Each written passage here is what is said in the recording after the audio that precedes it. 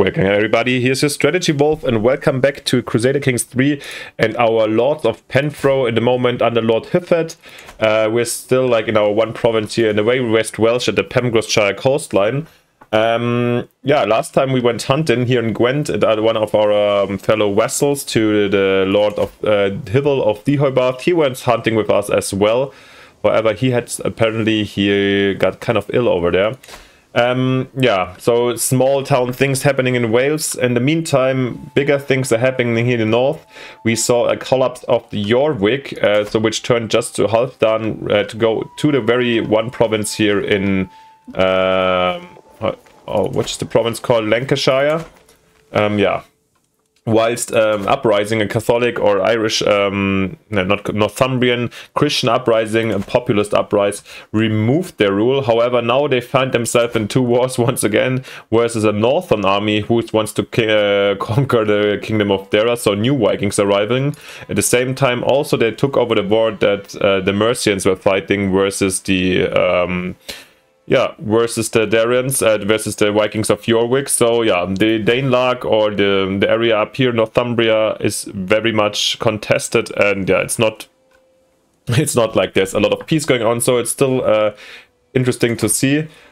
But it looks like despite these wick the bad war score over here, that the Cornish might actually overcome the problems and might keep themselves independent. But yeah, probably also he's gonna die soon, and we'll see a very young king over here. Is there actually... Do we have a daughter? Ah. It's a bastard daughter of by my concubines. But maybe actually we have a chance maybe to... Um, yeah. Get connected to the Cornish. I'd say why not actually. I mean, he couldn't get... We can get called into this war but yeah, both uh, the war here like looks like they, they are kind of beaten. Half done. So yeah, I, I totally forgot last time also that uh, here Jarl Ivar became our rival after like pillaging uh, Penfro and the area. He also hampered our efforts and destroyed our note notes in Gaelic, so we can't become a uh, become a yeah fluent Irish speaker. Hence, or it takes us way longer since we got really angry at him. And yeah, I got lost again, but definitely let's do this actually. And uh, I think it's a good option We have a new, new, new ruler here of Cornwall with our daughter. Why not? And we fought actually alongside his father also in Ireland, so I think he's an honorable man. Um, we come back home and yeah, the forest export is back. Uh, goes back, so yeah, we're back alone and back in Dyfed in Penfro checking what happens and yeah ex exactly what i predicted after the alliance we're getting called to the war but yeah i'm not gonna march out now. We don't oh we we okay recovered our army actually. And who got what is happening? Oh pause pause pause sorry sorry sorry. All right what happened? And and shortly after the betrothedness he died already on his and we have yeah the new Pity King Rickard Abdomnath, who is betrothed to our daughter. Let's see, in four years, I think he can marry her. Let's see. And uh, we have a call to war. He also causes a war against in the West claim on the Earldom of... Oh. Maybe I didn't control properly enough. Or was he already at war? Wait. Northumbria and Wessex. When did Wessex attack Devon? 15 months, but was it already only on him? Maybe... Oh. Well, we will answer his call to war, even though we will not be able to support here. Are Wessex? Ah. Wessex and Essex are being uh, allied anyways. So just talking about the strong good marriage with the Cornish, but it looks like uh, he's just going to be pushed back to Cornwall and lose Devon anyways. And Leinsterin is Leinster trying to conquer here um, Ormond, so the last hold of our friend. That's very, very sad. Where's Leinster actually? Over here. Yeah, and this is our friend, right? Brother-in-law and friend, yeah, we shall definitely come. And this is actually a reason where I would love to intervene. But they have... Who's fighting over here? Also, he's fighting several wars. Um, let's raise our army and see. I mean, Leinster has 300 and they're being crashed already and we can't afford this. And I think... Oh, here come the Cornish troops though. Hmm... I'm reckless, he's my friend. I think we will try to do that actually. Despite all the obstacles. Maybe some we get some assistance. Maybe this is not the best move of Are they fighting each other? Yeah, exactly. These are two contesting fractions in other wars. So maybe and now it's actually us who is coming here to help our friend. I mean, he came from when he had problems over here, he came during our birthday, so this is not forgotten. My son has recovered. I didn't even know he had a cold. And yeah, there's several battles over here, but maybe we can use the, the weekend. I mean, oh, defending a river crossing. Can we go like this? We'll try to we'll try our luck here versus the Let's see, they're attacking us now. But we are brave. This can be won. Maybe. It will be lost. oh. And the, the okay, with the control oh gosh. The war is actually over. Why did I unpause? Uh, it was a little bit fast. Okay. and our friend Wait. So Devon is lost to Wessex. Cornwall is still here, over here, okay. But so is Ormond lost and our dear friend... Can I... Really? Do I have to, have to go, get, go, go, uh, go back home? That's weird. Um, let's go and help over here then. And our other friend here, um, yeah, what was his name again? Konglach? No, it was Dunchat. Lost his possessions. Maybe we will invite him to our court for sure.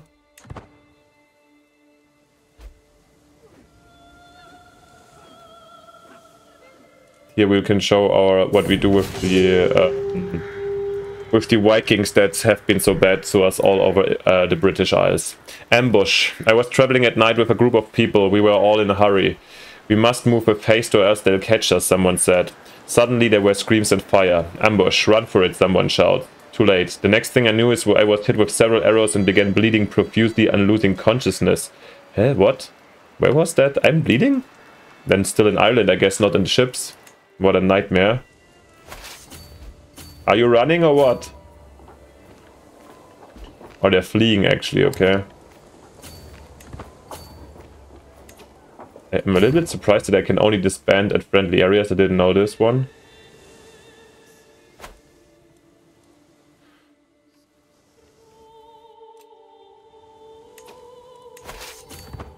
Well, let's hope that the Cornish, the Cornish people are coming to our assistance.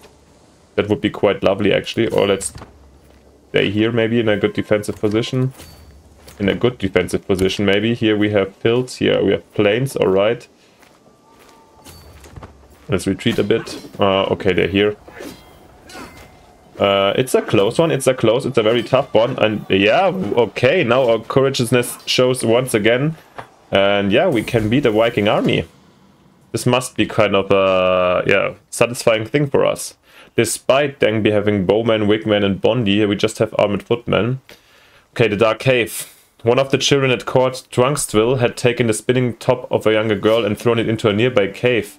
My son was there and was on, saw it all happen. Who is this? My daughter. One of the children at court, yeah. Ah, she's the one betrothed to the Cornish one. He ran into the cave and didn't come out for almost half an hour. But when he did, he had retrieved the toy, much of the annoyance of Drunkstville. Very brave, albeit perhaps somewhat foolish. Alright, uh, such bravery is recommendable. I left. Our son. Uh, I mean, we are brave ourselves, so I think bravery is good. Now we let him keep brave. And we just won the battle over here, which... Oh, we at least get prestige of this one. on this uh, battle. I mean, I would call it a skirmish, but still, it's a victory. And we made some prisoners. Maybe we can actually sell them to have some money to extend our, our lands. A stranger is brought before me. He has been waiting outside the castle gates for a week, my liege, my guard informs me. The man bows deeply. My name is Starkadr, your highness. I have traveled far and wide and seen many things, but my family and I are weary of the road. If you allow us to stay, I will be happily share my knowledge of the world with you and be lo your loyal servants. A Norse wandering man? Saga Ragnivor embrace God, yeah, the more the merrier. They just can come on, we're generous, okay. Let's check, I mean, we're kind of faithful, but also not extra, and uh, I don't know, but let's roll a dice in between those two, yeah, we are generous, so he can stay. And we are not necessarily like racist or have a, we, we hate these Viking wanderers, but I don't have a general problem with Norsemen, especially this fat one doesn't look like a reaver. Maybe we don't know that. Uh, all right, then let's let's roll the dice in between the first two options if we allow them actually as Norsemen here or if they should convert.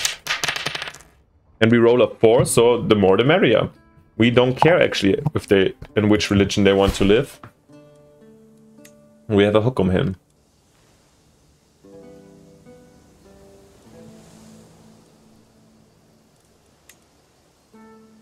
All right, so we returned our army and our also our um, prisoners. So we have Kongal. I was known. Maybe we have him here actually for longer, already from Ireland. I would have expected him to be quite helpful, but about to die. Maybe let let let let him re let's release him and gain a weak hook. Maybe he's a sword master at least what we know, so maybe he can uh, get to our uh, be part of our court, but maybe he dies soon. Who who knows? We'll see. Remembering birthday past. As I turn another year older today, I'm reminded of the splendid birthday party my friends Stunkat and Kongalach arranged for me several years ago. That was my 50th, no? How joyous, uh, joyous it was to feel the kindness and warmth of our friendship made so evident. I remember it as though it were yesterday. We feasted and danced and even presented me with a wonderful gift. I think I still have my Quail's eggshell gem lying around somewhere. Yeah, we do have this wonderful thing still around. Released him. What's maimed? Or is something really broken badly? Locked in his room, my son Bledrick came to me complaining about Ragnar bullying him. He has been staying in bed for days and avoided facing the other child. You don't have to face the world if you do not want to. Make sure you stay hidden wherever you go. I mean, uh, I wouldn't necessarily go for lazy because even though if you're lazy, I think it's not something you would to recommend to somebody. But also, stay hidden? I don't know. He's a brave man. I think there's no clear answer here. I will roll the die. Three. Alright, so yeah. Also Bledrick becomes lazy. But yeah, he's there not the first line anyways. How's, how's my grandson doing actually? Who's raising him? He's in my he's in my court, right? Yeah. We should have have a look. Uh Hithite the second probably. He's pensive. And he gets a stewardship education, alright. Who's educating him then? Do we have a good steward? Yeah, Eguachan. Maybe then let's do this. Um,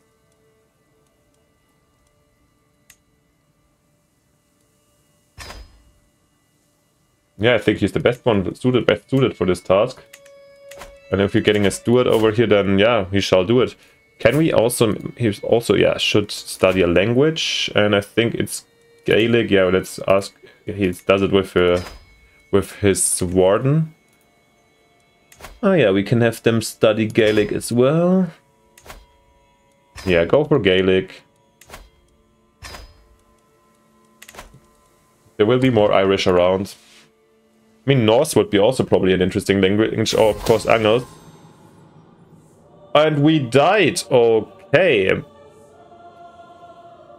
Traveling through dark woods with my retinue, we are accosted by a band of rogues. They soon prove to be more interested in our lives than in our gold, and though my men fight bravely, the brigands had the elements of surprise. I run as fast as I can until I think I've made it to safety. Then, over the noise of battle, I hear the pure twang of a single bowstring. Okay, somebody looks like somebody killed us. You were murdered by an unknown assailant. Well, as a player, I would say that probably it was Ivar the Boneless, since we are rivals, no? But, yeah. Alright, that was so much about Hyfed. We played him for 17 years. Lord Hyfed of Dyfed rests in the arms of the Lord at 54 years of age. He died under mysterious circumstances. As an interveterate diplomat, there was no argument he could not peacefully resolve. Uh, well, I mean, most of the things were not really resolved peacefully, but that was probably the time being. Lord Llywarch ascends to the throne. Being a talented military tactician, many expect him to lead the realm to many victories on the field of battle. All right, there we go. Um, yeah. We continue as Llywarch. And let's have a look. Let's have a look at us.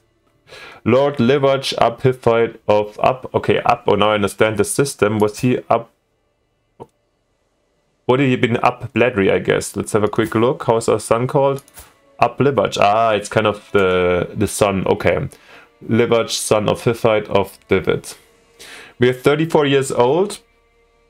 We are just, we're temperate, we're impatient.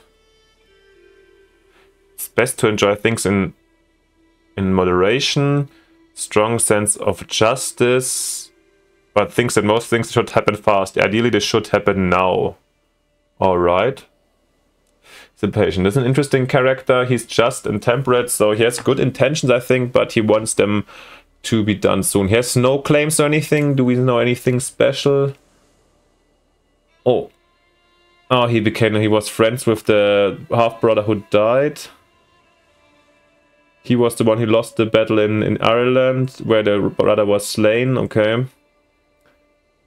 He's friends with Edan. Okay. Is he at our court? His... Uh, yeah, let's do this then. He's a Welshman, I have no further heritage. I became friends with Arvoth Abredi, your half-brother, okay. Ah, it's Sealess, okay. It's like a young brother in the end. Okay. And that's it. My my father died. So i think as a just man we need to find out who killed our father. That should be or like what since the uh, circumstances are mysterious. And we're impatient. So this is probably something we're gonna do very fast. Our wife is princess nest of uh, Ferch of Wales. She's a daughter of the Rory the Great, so she's a sister to one of um, to our king and to all the several northern lords outside of Deheubarth, which are pretty make pretty much make up the um, yeah the northern part of Wales here in the, I think Powys is the duchy, no? Gwynedd, Gwynedd. Gwynedd, oh, Powys is over here, okay. Alright. So, so much about this. Let's have a closer look then, um, what we're going to do. Um, yeah, we have our son, of course, Hilfred the second. We just uh, started teaching him already as Hilfred the first. And we have a council to roll out She's pretty much average in everything, so she can just assist us. That's fine. Do we have a good Chancellor? Okay, these are my friends, the friends of my father, so but they're not really anymore. He's quite untalented, so no. He will be our um, man over here. Whilst no, actually, he will be our marshal again, like with our father already. Whilst um, our courtier will be Unsthrith. Unsthrith is a Lombard, okay. How did he come here? Any history for him? Bishop of Ripon, where's that? As a bishop, okay. And then he was, it was taken from him, so now he's just working as a no normal man for us. That's fine for me. Um, we have to choose a lifestyle. We are taught to be a um, yeah in a military focus, so that's what we're gonna run after or go after at the moment. I think such as a just and yeah, temperate man, I will go for these. He's kind of after these typical knightly chivalry things. We'll start with this one. He's fighting a lot himself, so yeah.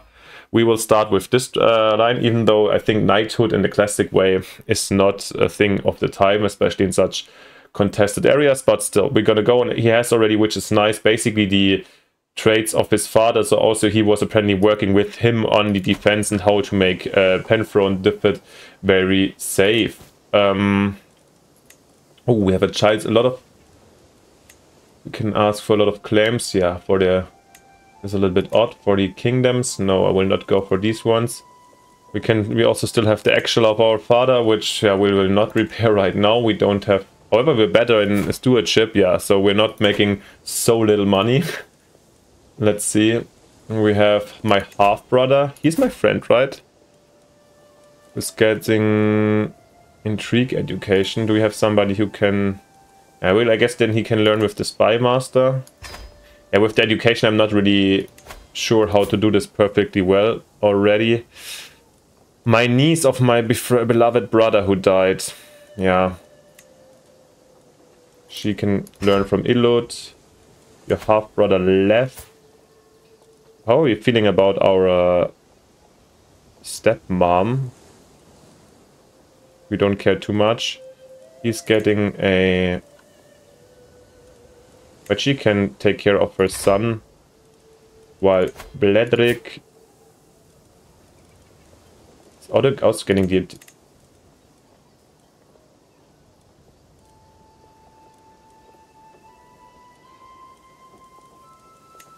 Maybe Bledrick we can give to our bishop, even if he's not so talented. Alright. This is done. Um, we now have an eight-year-old son. Can we? Do we have any alliances? Can we already arrange one with this this guy? No, I think I have to wait until they get married. Do we have an alliance with our uh, brother-in-law? No, he doesn't like it. Okay do we have, what kind of relations do we have with Duke Hybel? He likes us, but we are not really fond of him. Uh, we want a seat in the council. Let's see if we get this one. And we get in a second. And we also gonna be the chancellor, as my father was, even though we're really not as talented. But yeah, we're gonna take it. Sure, we're impatient, so thank you very much for the quick and just a decision to make us a chancellor. And yeah, let's think about one other thing. Um, how do we gonna marry our how are we gonna marry our uh, son is there any interesting chances in here i mean those guys are basically all our brother-in-law our brothers-in-law so maybe it's not the best idea to marry with those guys uh, what about our duke Hybel himself any grandsons or granddaughters on the way didn't even they are 35 and not married? That's odd. So Drea expanded, Connacht is Viking, so this is not options for us. Is there with Ulster maybe? Maybe with Mercia? We. What is happening to them? Are they... Are they somehow following a weird thing over here? Since Oh, wait, wait, wait, wait. By the way, talking about it, so they... Okay, so Mercia kind of was successful. So they took over the title of Dara, or what it was, your Jorvik over here. So the Viking army was apparently... Um, how did reprieved? So the, the Northman army. So it looks like they kind of freed here the north uh, these areas. But him? was granted it two years ago. Those guys are independent up here, the Northumbrian lords. Because this is Jorvik, right? This is the this Jorvik is York. Okay, exactly. They took only York and the others got kind of free. And since they would belong to Halfdan, let's see if he retakes them of their former uh, Christian Northumbria up here. Very, very interesting. Wow. Maybe here we have some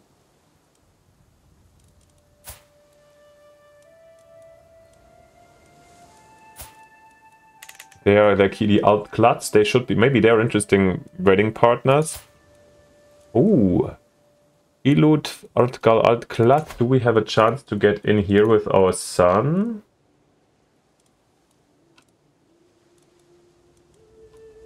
Where's my son? Where's my son? Come on. Hiffite. Hiffite, Hiffite, Hiffite. That's super weird. I mean, we can marry it to our half-brother. Yeah, she doesn't want that. I mean, it's not our rank, so it was quite unlikely anyways. But why can't I use Hiffite over here? That's surprisingly weird. Is there anybody out there? Are they completely new? And why is everybody wearing these linen shirts? They're not even sick. And here, over here, the Mercians. Yeah, let me know if you have an idea why this is happening and happening why everybody's just in these cheap clothings.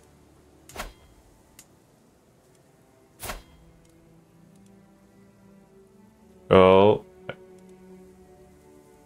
Ethelhild. Helga. Is there any, maybe... Oh, I could get an alliance with Mercia. This is pretty strong, and I find this actually quite tempting, no?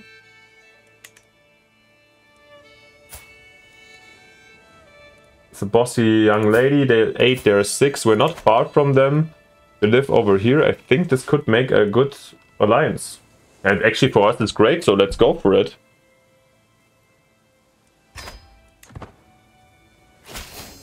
and shall grant us a lot of security and alliance with Mercia, so this is great. And actually, I think um, this is also a great moment for us after the passing of um, our father and not going too deep into the new uh, leverage time. So I think it's a great moment to also end this very episode. So yeah, once again, let me know what's happening or what you think what's going on. And it's pretty impressive um, uh, development, having this strong Mercia very early on, while Ireland is falling more and more to the Norsemen. Yeah, let me know what you think. What should be? What is your impression of Llywarch? Um, how do you? What kind of character do you see in him? I'm happy for suggestions and ideas how you would play him. Impatient, temperate, and just. And yeah, we just got the first marriage, at least to our son, uh, betrothedness out with Mercia, which is pretty powerful. And yeah, that's it for the moment. Um, if you liked it, or also if you want to support just the channel, please leave me a like and a subscription. Helps me a lot and uh, costs you nothing and pushes the channel forward. So thank you very much. And apart from that, uh, see you next time in yeah in the year 1884 with uh, Llywarch and yeah a new episode. Bye, your strategy wolf.